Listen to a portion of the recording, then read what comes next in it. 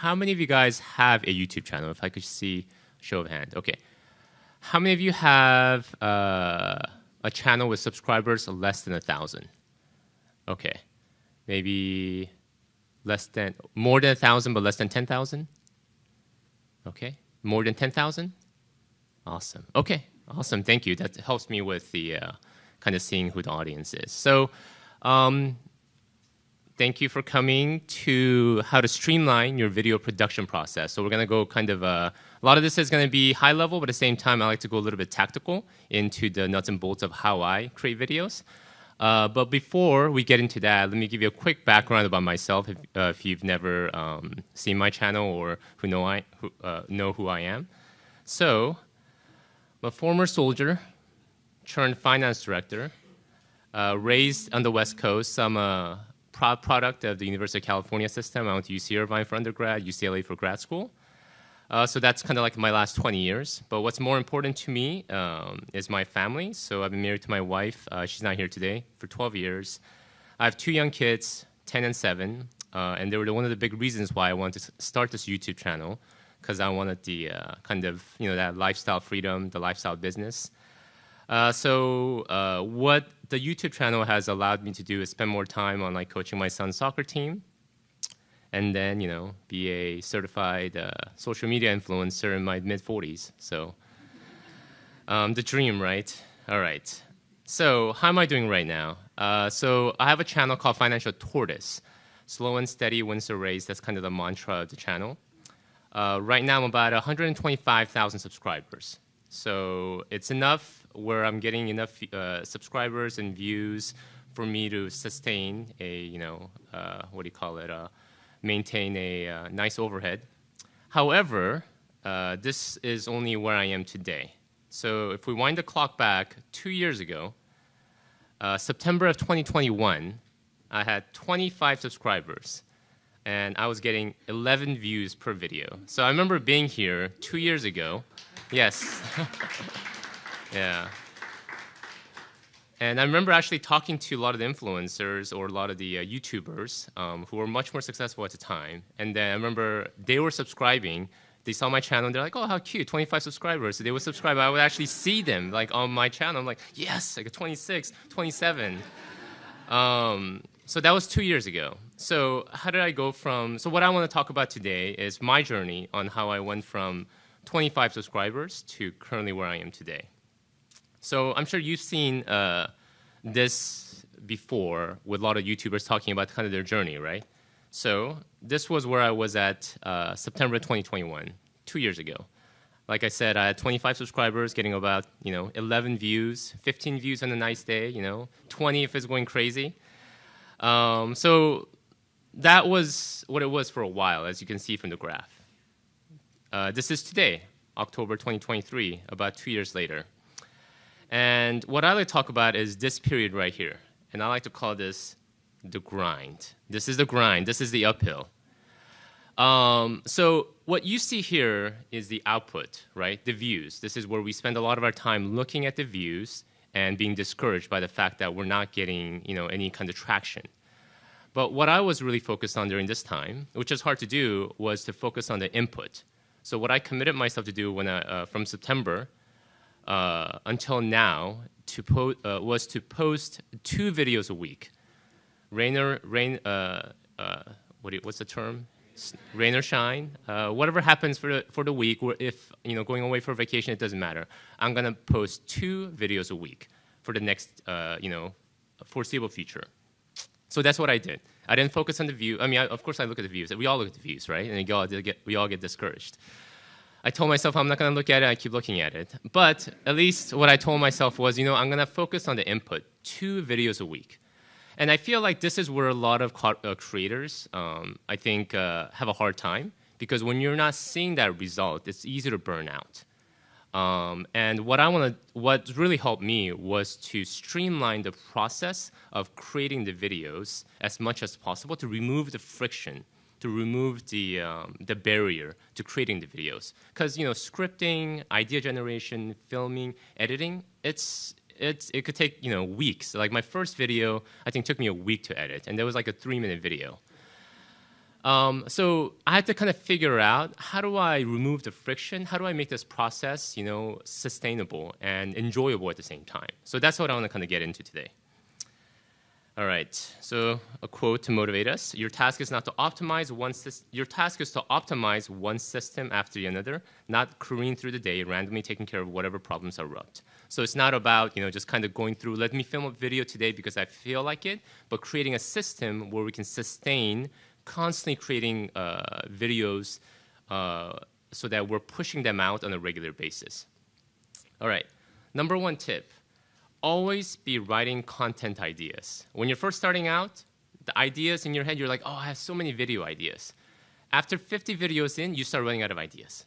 So what you have to do is get in the habit of always writing down content ideas. And this for me, like I, you know, I, I'll be in the shower, and then like my wife see me like run out the shower because I'm like, oh, I got an idea. Like let me let me borrow your phone. I gotta text myself because I have this video idea because I'm gonna lose it. So you always want to be writing ideas. Um, and you probably heard of this too. Out of the 100 ideas you write, maybe two are okay.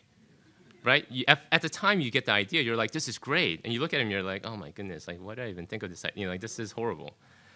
Uh, however, creativity is less a fleeting moment of inspiration a, and more a muscle that can be trained through consistent exercise. So, more you come up with ideas, better your ideas get. So, quantity is the game here. Initially, you want to push for quantity. And then I think once you get more and more, then I think we can, it becomes more refined into better quality.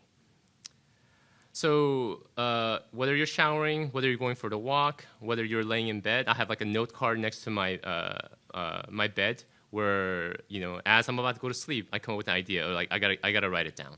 So I try to always write down a list of ideas, and then this is just a sample of, um, like I have a, a, Google spreadsheet where I list out all my ideas, and then literally right now, I mean, there's probably like 500 on there. Like 480 are like worthless. Like I look at them and they're like, this is this is horrible. But in order to get those 20 good ones, it took me 500 to get there. So that's tip number one. Always be writing ideas down. Tip two, and this is, uh, I think for different YouTubers have a different take on this, but I personally like to script word for word. Um, there's so much that goes into filming, the whole video production process. Um, and I feel like the content itself uh, is really the core of how well your video does or not. People can, you, you, know, I'm sure you've seen videos where like the editing is amazing, there's a lot of jazz, there's a lot of movements, but then you watch and you're like, you feel a little bit empty. And I think a lot of it has to do with the fact that like the actual core of the content, there was, it was, it wasn't, it was a bit empty. And I think that's why, in order to produce the best content possible, uh, I can't just kind of riff in front of the camera. Like I have to like write everything down word for word, even like the awkward pause and the jokes, awkward jokes. Like I write them all down. Um, Steven Pressfield, the trick to writing or any creative endeavor, endeavor is that once you start, good things begin to happen. You can't explain it, you don't know why. And an energy field is created by your love, your will, your devotion, your sweat. Trust it, be brave. So for me, I didn't realize when I started YouTube channel that most of my time is going to be spent on writing. I feel like I'm more of a writer than actually a content creator. And then I feel like more I write, better my videos get because more of those ideas are generating in my head. More I'm, you know, it, is able to process through it and I'm able to produce really quality content. So um, what I do here, as you can see, like this is uh, just a sample of the different scripts I have. And then just to give you kind of a general rule of thumb, like a 10 minute video is about 2,500 words. Um, if you want to do like, and then on YouTube, if you don't go over eight minutes, then you don't get the additional ad revenue because they don't put the mid roll. So I try to aim for at least 10 minutes. So I always aim for about 2,500 words, 2,500 to 3,000 words. And that's a lot. So like, just to give you an example, it takes me probably good like five hours total to write a 3,000 word. If you think about it, it's like a blog post that you're working on. But yeah, my, my recommendation is that like, you know, if you want to, uh, and I think this gets better with time, but for me, what's really worked is being able to articulate my thoughts on paper and being able to script everything out word for word. All right, tip number three. So I get some questions regarding thumbnails. Um, and this is one of those creative components of YouTube. How do you create good thumbnails? Way, uh, and I've done this before where for each video, I try to think of like a really creative thumbnail. But then after about 50 videos, you burn out because you're like, oh, I, I just, it took me forever to film this video, and now I've gotta think of a thumbnail. And what's helped me to really streamline the process is to batch shoot all my thumbnails. So it could feel a little awkward if you're like, it's like being a model. You gotta like spend a whole day, you know, getting yourself ready, getting my hair ready, and then literally like you you just pose in front of the camera and take like multiple photos in different angles. You know, you've seen those guys on YouTube. They're like pointing at this, pointing at this, like surprise. You know, like pointing this way, looking down, looking up, like everything, everything you could think of. Do it all, and then I I retake these photos like every few months or so. But then what this really helps is once you've done the scripting, once you've done the filming, when it comes to uh, when, when it comes to doing the thumbnail, you don't have to restart it. You don't have to set up the camera, set up the angle, and all of that. You have a batch of photo that you can go to. And sometimes I, I re- retake the photos if if I have like a new idea that I want to do. But then this helps you to have a database in which you can kind of pull from. So this is like my old ones. Um, and then this is like more of my recent ones, and I have like literally like hundreds of these. It's kind of awkward, like when you're first time doing it. You feel, and then you have to do it yourself and um, setting up the lighting, all of that. But uh, it really like helps to streamline the process. All right, checklist. I'm a huge fan of checklists. There's actually a book called Checklist by Atul Gawande. Uh, I would highly recommend it. Under conditions of complexity, not only are checklists a help, they are required for success. So like the whole video filming process, if you guys done it, there's a lot that goes there, right? Like you have to get all the equipment out, you have to make sure the camera is set up in the right way, you have to make sure the angle is correct, you have to make sure the script is correct, and there's a lot of things that are going through your mind. So what I do is I literally have a checklist for every single process. I have to do something more than more than once. Uh, I have a checklist for it. Like the research process, I have a checklist. Equipment setup, the settings on the camera, I have a checklist. And I'll share these slides with you guys at the end. There's actually a link that you guys can go to to download all these slides. And actually, I have a sample of, uh, of these checklists that you guys can use for yourself too. Um, so for all of these. So like editing, I have a checklist. Filming, I have a checklist. Uploading process, I have a checklist. So I highly recommend this because you miss something. So literally, even today, like I'm like, okay, I gotta uh, set up my camera. And then for some reason, like if I don't have on a checklist, I forget the basic stuff like, oh, the remote, where's the remote? So the checklist really helps to, once again, the theme of streamlining the process. You don't want to be drained through the video filming and video production process. You want to try to streamline it as much as possible, and checklist helps to really optimize that. Yeah, so I'll send you the slides. If you click on this link, you can download those uh, sample checklists. All right. Batch record videos. So this is another one of those things to help streamline. I uh, got in the habit of recording at least four or sometimes six videos in a day. So in a sitting. So I'm sitting there for like six hours, literally like filming one video after the other. And this is where the scripting comes really handy. Because all you're doing is executing. You did, you did all the thinking up front in the scripting portion. So all you're doing is really performing in front of the camera. So I have a setup. This is what my setup looks like. As you can see, I have my lighting, uh, I have my boom mic, I have my um, teleprompter and my camera. It's a lot of work, as you can tell. I'm sure you guys have experienced this. Setting this up once is a lot of work. So once you have a setup, once you have the lighting setup, I, I, I love to just record as much as possible, as long as, you know, um, I don't lose steam. And then you can tell here, this is uh, my schedule. Uh, I spend a lot of time on my hair, so I have a full 30 minutes. It's a very important part of my video production process.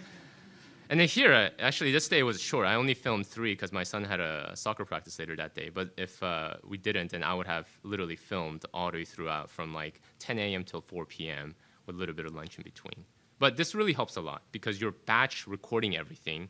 And then if you're producing, if you're uh, publishing one video a week or two video a week, you're getting that lead time. At least, you know, like if, if you film four videos and you're publishing um, one a week, then now you have enough content for the month. So then you could start thinking about the next batch of content.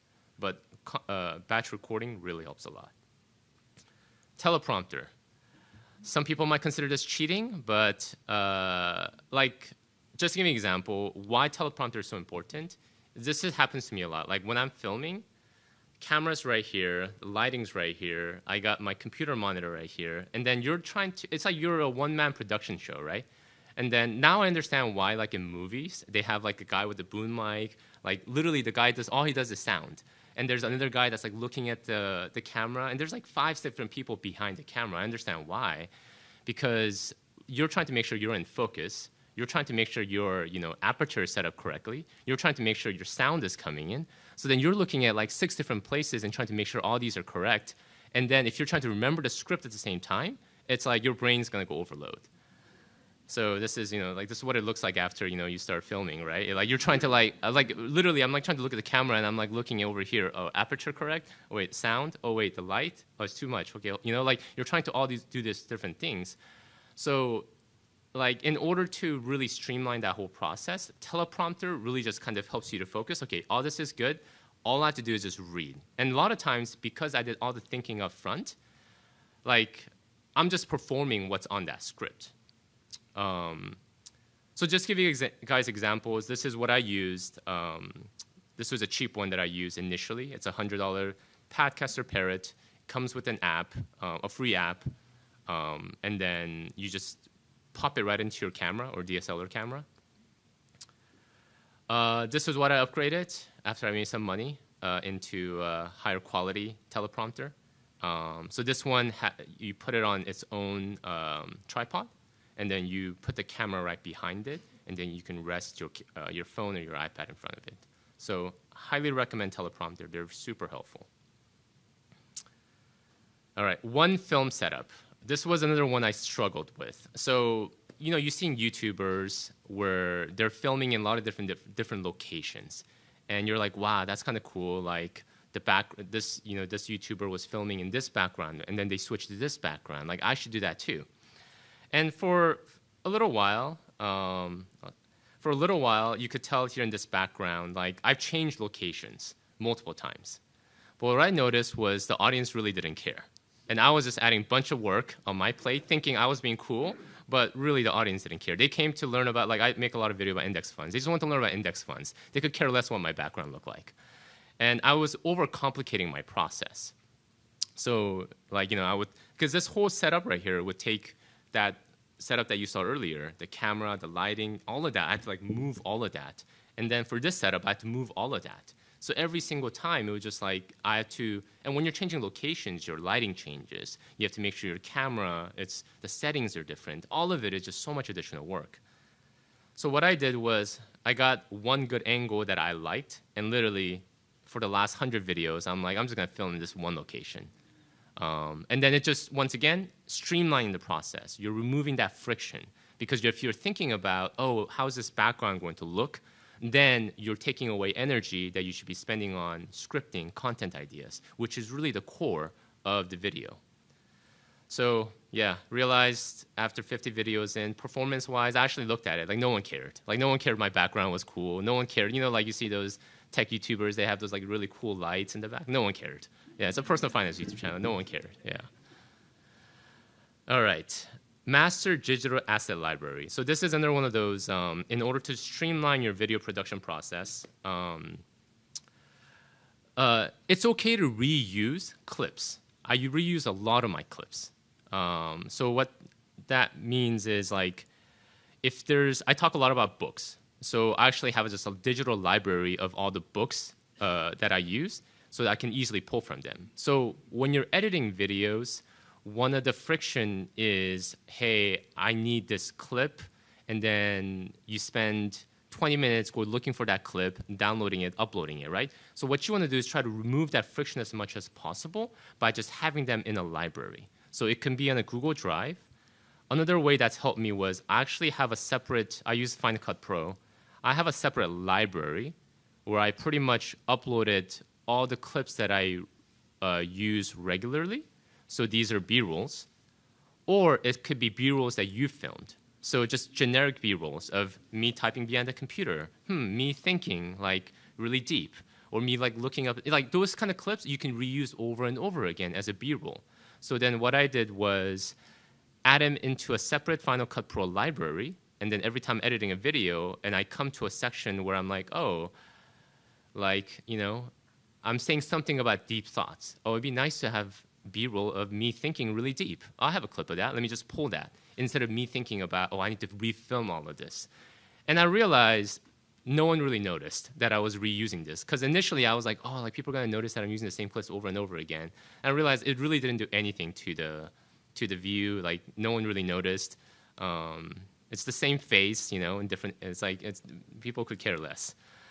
Um, so that really helps. Once again, the theme of removing the friction um, of you having to take the time to go look for that, uh, look for that digital asset, look for that clip, look for that picture, have them all in one place. If you know you talk a lot about, let's say, like books, for example, or like you talk about specific companies a lot, then download a bunch of those clips or images of that company, have them in a folder, so next time you're editing a video, you're not having to go to the web and download them again. You're just copying and pasting, copying and pasting and then you're removing that friction of editing that video. Okay.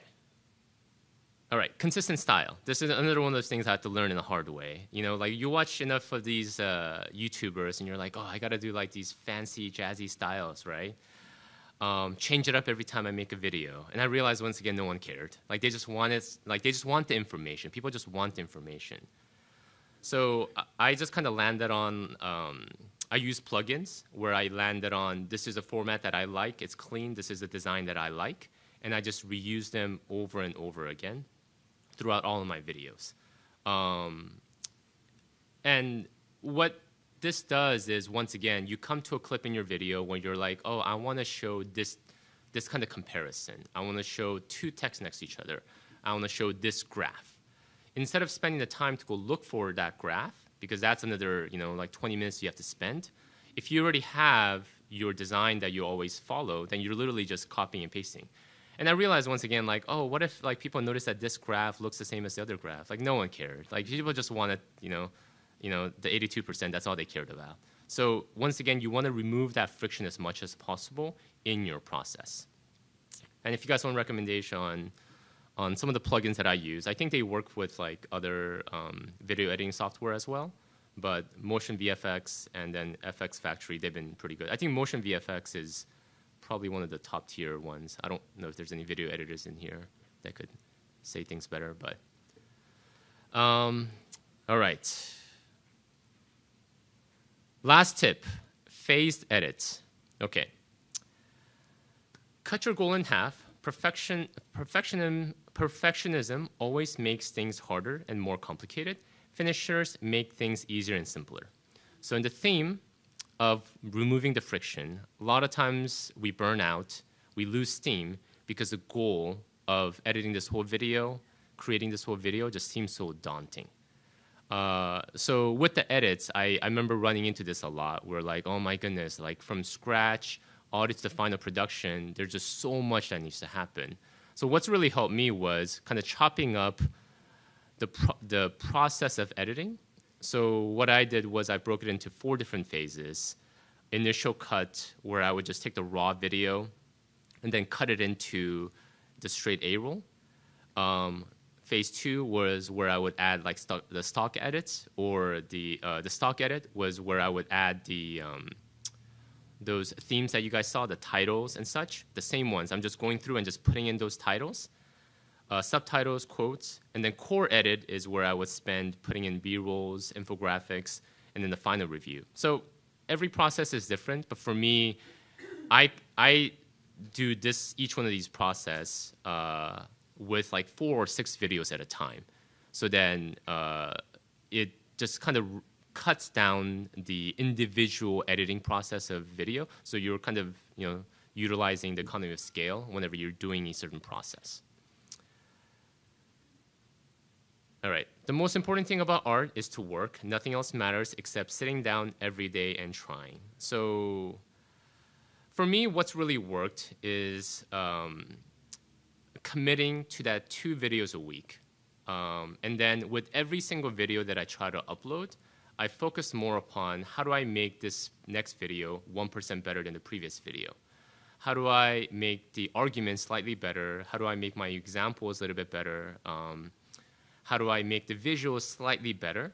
It wasn't trying to uh, make, you know, it's. I think what what we what we get caught up is we're trying to compare ourselves to, you know, you've heard of this quote probably, our beginning to someone else's middle or someone else's end, right? Someone's been working on this for four or five years. It's not fair to compare ourselves to that person's five years in so know that this is a iterative process. It's going to take time. But then um, if you keep at it, if you focus on 1% better, uh, if you focus on the inputs, I feel like within you know, the YouTube world, the algorithm world, it does reward consistency. Uh, content is king. And if you guys want the slides, please go to this website uh, the URL here and, the, here, and then you can download the full deck. And then there's also that link to those um, checklists that you guys can download. All right, how do I do in time? All right, we got 15 minutes left for Q&A. Yes? So I Okay, so the question was some of them I have a lav mic. I did a lav mic or boom mic. So I've done both. So I've done lav mic initially. Uh, I transitioned to boom mic uh, maybe about six months ago. Um, boom mic initially for me was intimidating because I had to record the audio separately. And then I was trying to remove uh, the friction in which I needed to do post production work. So I did a lav mic that hooked up directly to the camera. Um, and then when you download the media, it has both the audio and the, uh, uh, the video in there. But I would say after using the boom mic, the sound is better with the boom mic. I could see why in you know Hollywood movies they have those guys that are standing there with the boom mics. Yeah. So, yes. if you're just getting started and you had a budget of five hundred dollars, how would you spend it on things that can be effective in accelerating your Yeah, so I would say uh, when people talk about equipment wise, um, the most important equipment initially is actually the sound. So then you could film with your phone, but either you get a separate recorder or a lav mic. So there are um, adapters that you can hook up into your phone. But uh, a lav mic was really helpful just because you know, you've heard, you might have heard the saying, people can watch a bad quality video, but they can't watch bad uh, quality audio. So I would say like lot, people are a lot more forgiving with your video quality. And nowadays with the like iPhones, you can't really tell the difference too much between, um, I would say like cheaper DSLR camera, mi- mirrorless DSLR cameras versus an iPhone. But then I would recommend thinking about a, a good, um, good audio setup. Yes. What's your process for getting to your best ideas that you actually make a video on? Yeah, so this is uh, from Stephen King. If you want to be a good writer, you got to read a lot, read a lot and write a lot. So this was one other thing that kind of surprised me was I thought I would spend more time on the video portion. I think I realized I'm spending more time reading and writing. Like literally, like that's where I get blog posts, books from people that are way smarter than me, and then I think what what I'm trying to do is as I'm reading different types of books, um, you know, you're just kind of correlating a lot of these ideas in your own head. But yeah, like just reading and reading a lot. Yeah. Yes. Yeah, so initially, this was, uh, you know, there's a lot of videos regarding like tricks, right? Like the first second of the, the video matters a lot. Um, and then you gotta add suspense throughout the videos. I'm not sure. Like, I think there is time and place for that. So I think, like, if you're a Mr. Beast and you're catering to a bunch of 80 year olds, maybe. What I realized was the videos that performed really well for me was ones where, like, surprisingly, I would delve super deep into like. Uh, I take one index fund and I would delve deep into it. And I thought, like, who's gonna want to watch this thing? I'm literally reading the, you know, the fund uh, prospectus on, you know, uh, and I'm just going through them in detail. But if people need that information, they stay with it. So I think it's end of the day. I think it comes down to it's not the trips, it's not the tricks, it's not the you know the jazzy, you know, like trying to keep people's attention. I think if you're providing really quality content that is usable and actionable, I think that itself keeps people's attention. Yes. Yeah. Uh, so was your growth in uh, subscribers all organic, or did you do any additional promotions or ways to draw people?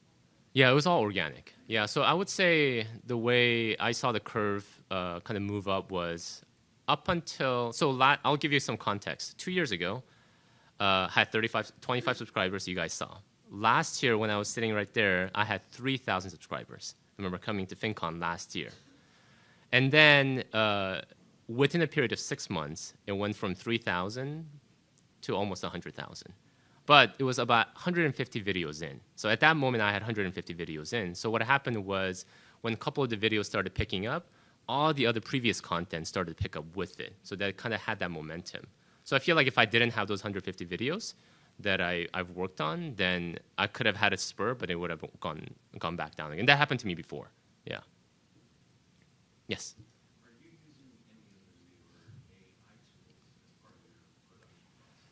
I did a little bit. I did use AI tools uh, to, like ChatGPT. There were some other ones like Jasper that I used, um, but not as kind of the. It was more of like a supplement. So like when I'm when I'm writing a script, and I hit a like a roadblock on like okay like um, frugality tips um, and I just want some idea generation, then you can just type it in there and it gives me some ideas. But I use it maybe just in those contexts, not really to like write out the script for me, but more just to kind of spur my thoughts. Yeah. Yes. Um, how do you monetize? Like, do you just use the YouTube ads, or you go direct to brands and bake in ads? Yeah, so it's a combination. So initially it's ad revenue. So that's the nice thing about YouTube long form videos is that I feel like compared to a lot of the other platforms, the ad revenue is pretty high, especially if you're talking about personal finance. Um, so that is a huge motivator of keeping you in there. So ad revenue is one, but uh, you know, like what all the other content content creators are doing, affiliates, brand sponsorships. Uh, I do some uh, money coaching on the side. Um, and then yeah, I think some of the other creators they go into like you know course creation, but yeah, but ad revenue is it is it is nice. Yeah. Yes. How often you checking like your analytics on your videos? Because I know Mr. Beast will talk about, a lot of the YouTubers talk about like watching the analytics and like watching the retention time. Yeah. Or like watching the spikes in the videos, Mhm. or like maybe the drops in the Yeah, videos to be able to cut that kind of stuff out. Like how often do you do stuff like that to help improve videos? When you Yeah. talk about improving on his thumbnails, Yeah.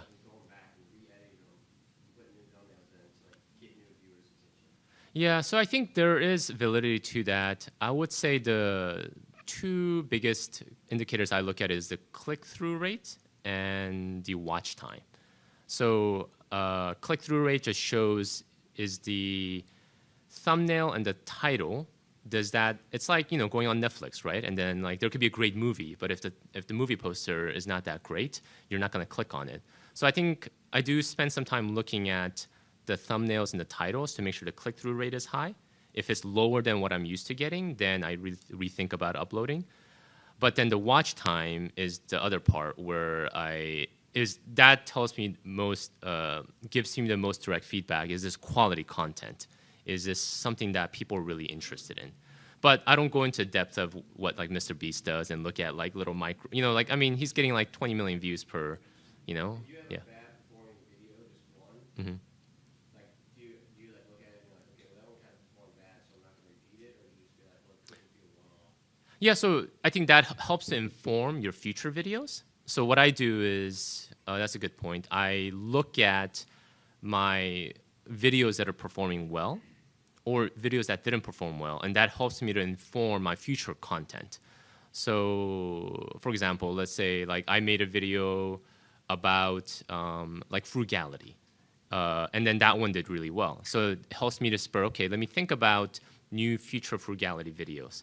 But there was some videos that I thought, oh, real estate. Let me do, do a video about like real estate terms, and then that one flopped. So I'm like, okay, like this is not something that I, I should delve into. So I think it helps to inform my future content ideas. Yeah. Yes.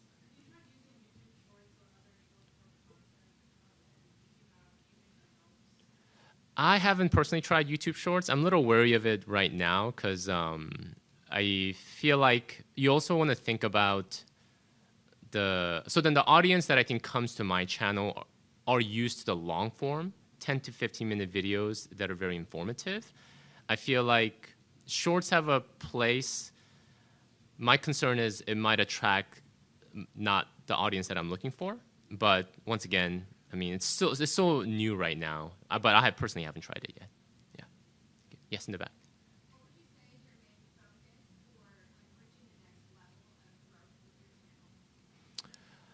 Um, so I think for me, it comes down to um, being able to articulate the content in a way uh, that people can digest and relate to. So how do I? Uh, so right now, like there's w- there's easy ways to talk about my favorite index fund. My favorite index fund is this because the performance is this and performance is that, right? But then I feel like where there's opportunities that I've seen other content creators do is they take a very boring topic and they're able to articulate it into a story or be able to narrate it in a way that it's digestible for people. It's not just, you know, like here, look at these slides, look at, let me go through this chart. It's more of like, how do you make this more relatable? So I think, you know, it's like, it's, it's all visual content, right? It's about when someone looks at it, do they walk away from it like that was a really good piece of content? Like that would had a combination of like information, entertainment, storytelling, all of those things. But I think that's also the hardest, right? Because it's easy to spew out five things about this index funds. How do I make this into something that is relatable, interesting, funny at the same time? Now that's the creative part of our brain that we have to really push up, and that's where kind of. Uh, um, what do you call it? Coach Carson's question regarding like how do you write better? It's like read a lot, write a lot, and I think that that creative endeavor only comes when you're doing a lot more of that. Yeah. Yes, out in the back. Yeah.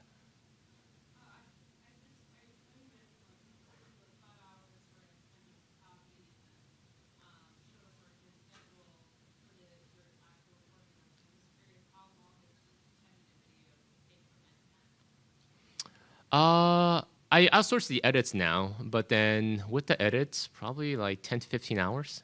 Yeah, per video. Yeah, so you can think of 10, 15 minute video. It takes about 10 to 15 hours. Yeah. no, I did. Uh, I use a like a video editing subscription um, service, but I am looking for a new editor. So if anybody knows, please. Yeah. yeah. It's auto in the back.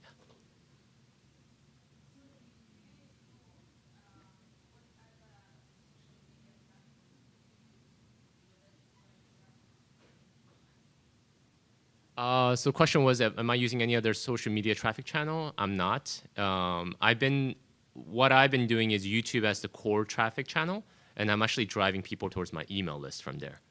Yeah, uh, but uh, I am thinking through um, other social media channels, but it, this is why I need a new editor. So yeah, yes.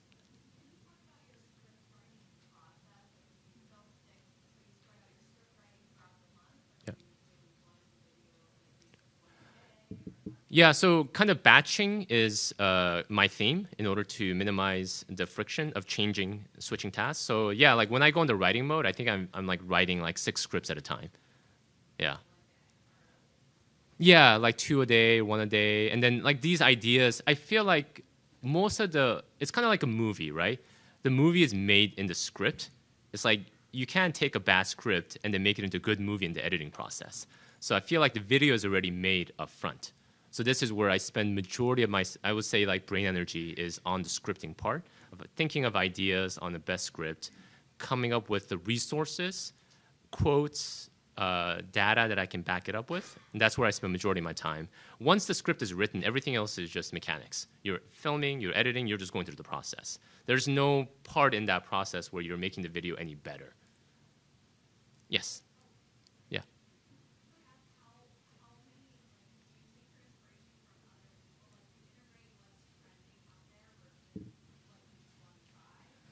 Yeah, so it's a it's a little bit of mix. Um, I would say I do less trending, um, and then try to focus more upon um, original idea. But that's hard. I mean, I think it's a little bit of kind of uh, initially when you're trying to form your own original idea. So like I would say like you know channel is called Financial Tortoise. So you think it'd be intuitive that I started out with slow and steady? It wasn't that. I don't know why I chose tortoise. I just like chose it, and then like I didn't. And then it was only like 50 videos in. I was like, oh, it's tortoise, tortoise in the hare. I should do the whole slow and steady thing. And then that's when I started to like market a little bit more. And then I think around that theme, I try to come up with more original ideas around that brand. But initially, it was just a lot of copying and trying different things. Uh, yeah, like there's a bunch of videos about like five best millionaire habits, right? Like or 10 things I never buy. Like you see all the personal finance YouTubers making those videos. So I made all those initially to just kind of, you know, get the muscle working. But then I think as you create more videos, more scripts, this is where that you you start to form your own viewpoints, your own ideas, your own way of kind of your own angle of looking at things. Um, yeah, so I mean, I think it's a combination, but I feel like down the line, you want to get to a point where you're creating your own original idea, not following the trend. Yeah.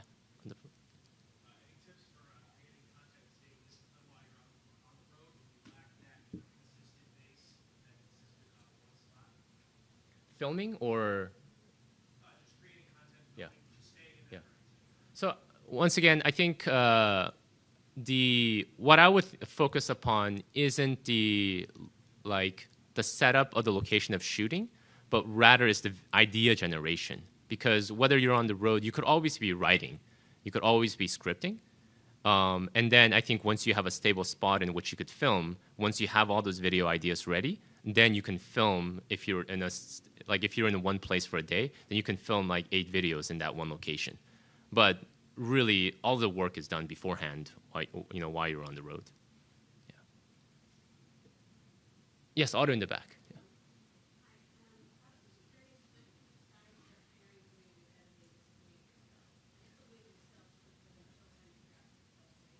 Yeah. Yeah. So I think that's important. So I, I don't have any video editing skills. My previous job, I was a I was a finance director. I've never touched an editing. I never even filmed myself until I started this process.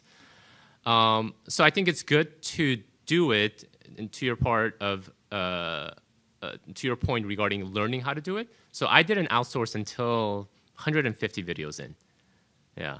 Um, but then at that point, I think uh, I knew like how to edit uh, almost or better than a lot of the editors out there.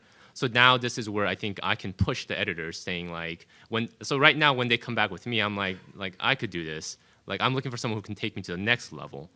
Um, but I think it's important to kind of learn that, or else, you know, it's like uh, it's not not not with everything, you know, that you have to learn on your own. But if you think about in the YouTube world, that video is your final product. That video is kind of like your book, your product that you're creating. So you want that final product to look the best as possible. And I feel like no one else is going to care as much as you're going to in that final product. Yeah. Sorry. I think we can do two more questions. Yes.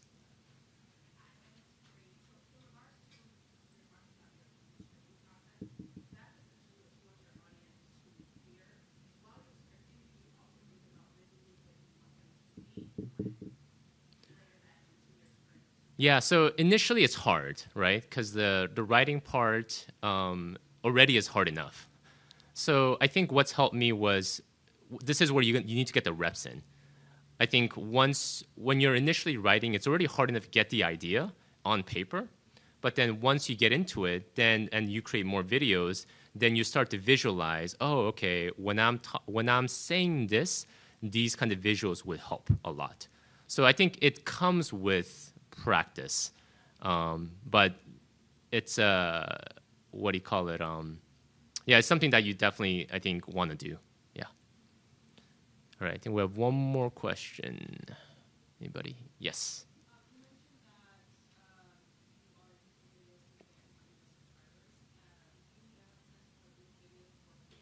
Yeah. Yeah. So what I've done is uh, um, videos that are a little bit more technical. What I would, what I do is I have a lead generator that goes along with it. So like I recently made a video about like 10 best Vanguard funds, but they're very technical. It goes into like the nuances of expense ratios and returns. So I, I what I said was, hey, you want to follow along? uh, go and download this PDF guide that lists out all of these funds and all the details. And then, you know, everybody who's watching that, vi- who came to watch a, if they're motivated to watch a video about Vanguard funds, like they're trying to learn, so then they're gonna go and download that uh, that lead generator. So those have converted the best. Versus, I also make videos about kind of general like habits and frugality. Um, those haven't converted as well. Awesome. Well, thank you guys so much for coming.